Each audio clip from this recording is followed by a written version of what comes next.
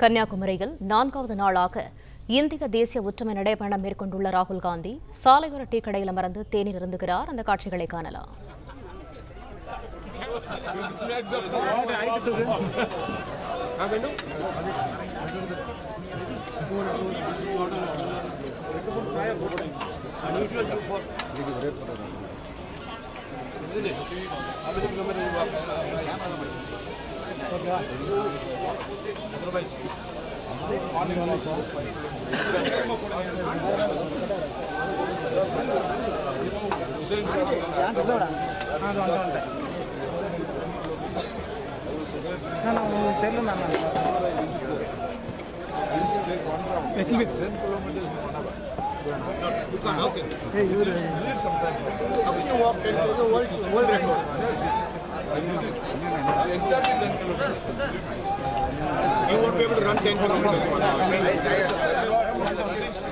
கன்னியாகுமரியில் நான்காவது நாளாக இந்திய தேசிய ஒற்றுமை நடைபயணம் மேற்கொண்டுள்ள ராகுல் காந்தி சாலையோர டீ கடையில் அமர்ந்து தேநீர் அந்த காட்சிகளை நாம் பார்த்துக் கொண்டிருக்கிறோம்.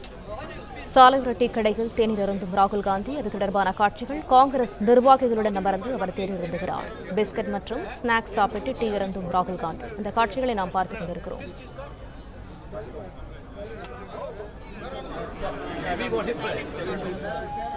Vem no paparão do olho.